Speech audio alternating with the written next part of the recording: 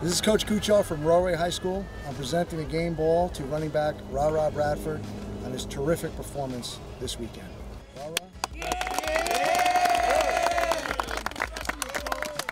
I want to thank my coaches, my teammates, especially my O-line. I want to thank everyone who voted for me to get this ball.